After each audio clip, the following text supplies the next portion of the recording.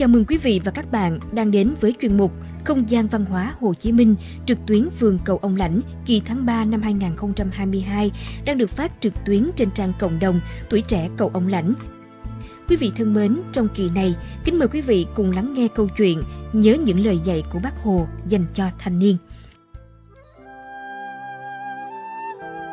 Trong cuộc đời hoạt động cách mạng của mình, Chủ tịch Hồ Chí Minh vĩ đại luôn dành những tình cảm tốt đẹp cũng như thời gian, công sức, trí tuệ của mình để giáo dục, bồi dưỡng các thế hệ thanh niên Việt Nam đến với cách mạng, tham gia vào quá trình đấu tranh giải phóng dân tộc, xây dựng và bảo vệ Tổ quốc. Bởi theo người, thanh niên luôn là lực lượng tiên phong, xung kích trên các mặt trận, góp phần xây dựng hòa bình. Bác rất tin tưởng ở thanh niên, lực lượng dự bị của đảng và là lực lượng cách mạng cho đời sau. Ngay từ thời trẻ, người đã ý thức được vai trò của thanh niên trong sự nghiệp đấu tranh giải phóng dân tộc là vô cùng to lớn. Như tình cảm của một người cha đối với con, bác hồ hiểu rõ những ưu nhược điểm của thanh niên nước ta. Bác luôn căn dặn thanh niên thanh niên sẽ làm chủ nước nhà, phải học tập mãi, tiến bộ mãi mới thật là thanh niên. Bác luôn nhấn mạnh đến việc học tập, vấn đề cốt lõi để các thế hệ thanh niên trang bị cho mình sự hiểu biết, vốn kiến thức một trong những điều kiện tiên quyết để đảm bảo cho các thế hệ thanh niên có thể vươn mình ra biển lớn, lấy sức trẻ làm giàu cho tổ quốc, quê hương. Có thể khẳng định rằng chăm lo, bồi dưỡng thế hệ cách mạng cho đời sau là một bộ phận quan trọng trong hệ thống tư tưởng của Chủ tịch Hồ Chí Minh, người đã dành cho thế hệ trẻ những tình cảm và sự quan tâm sâu sắc. Kỷ niệm 91 năm ngày thành lập Đoàn Thanh niên Cộng sản Hồ Chí Minh – 26 tháng 3 năm 1931, 26 tháng 3 năm 2022. Nhân dịp này, chuyên mục Không gian văn hóa Hồ Chí Minh trực tuyến phường Cầu Ông Lãnh xin được trích dẫn những lời dạy mà lúc sinh thời bác đã dành cho các thế hệ thanh niên Việt Nam để thấy được những tình cảm sâu sắc, sự quan tâm, bồi dưỡng những thế hệ thanh niên của bác kính yêu. Trong bài nói chuyện với sinh viên và thanh niên trong lễ khai mạc Trường Đại học Nhân dân Việt Nam ngày 19 tháng 11 năm 1955, bác có nói Nhiệm vụ của thanh niên không phải là hỏi nước nhà đã cho mình những gì, mà phải tự hỏi mình đã làm gì cho nước nhà. Mình phải làm thế nào cho ích lợi nước nhà nhiều hơn. Mình đã vì lợi ích nước nhà mà hy sinh phấn đấu chừng nào – hay trong thư gửi thanh niên vào tháng 4 năm 1951, bác có viết Ưu điểm của thanh niên ta là hăng hái, giàu tinh thần sung phong. Khuyết điểm là ham chuộng hình thức, thiếu thực tế, bệnh cá nhân, bệnh anh hùng.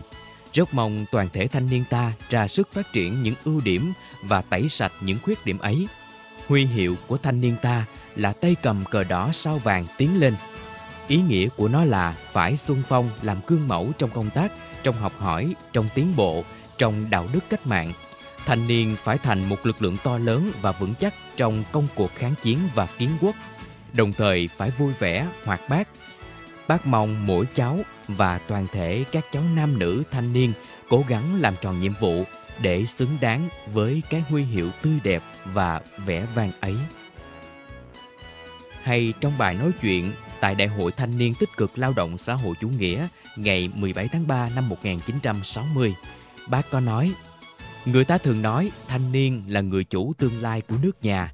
Để thật xứng đáng là người chủ của một nước xã hội chủ nghĩa, thanh niên ta quyết tâm thực hiện mấy điều sau đây.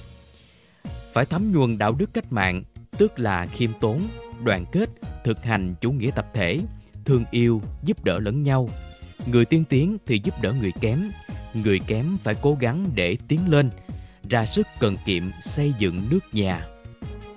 Phải nghiêm khắc chống chủ nghĩa cá nhân như tự tư tự lợi, tự kiêu tự mãn, chỉ tham việc gì có danh tiếng, xem khinh những công việc bình thường, phải chống tham ô, lãng phí.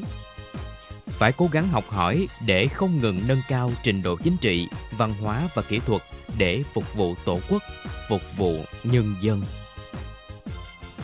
Trong thư gửi các bạn thanh niên ngày 12 tháng 8 năm 1947, bác có viết Nước nhà thịnh hay suy, yếu hay mạnh, một phần lớn là do các thanh niên.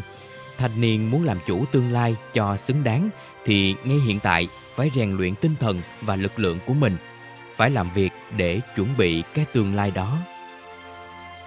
Trong bài thơ bác dành tặng đơn vị thanh niên xung phong 312 làm đường tại Bạch Thông, Bắc Cạn ngày 28 tháng 3 năm 1951, bác đã nói Không có việc gì khó, chỉ sợ lòng không bền.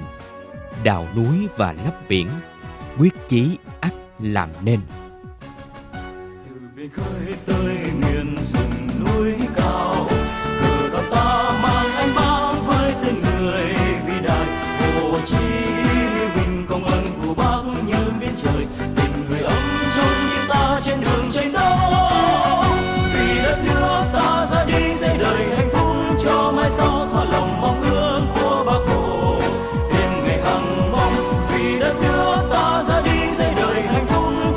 gió thỏa lòng mong ước của bác hồ.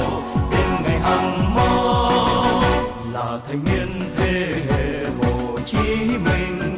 Vì ngày mai ta sẽ đắm những công trình vĩ đại. Đồng lúa chiếu bồng quê ta, nhà mây khói ngút trời. Ta tổ quốc trong tương lai anh miền và sáng. Là công sức ta sẽ lên đất trời tổ quốc thêm xanh tươi hoa lòng mong ước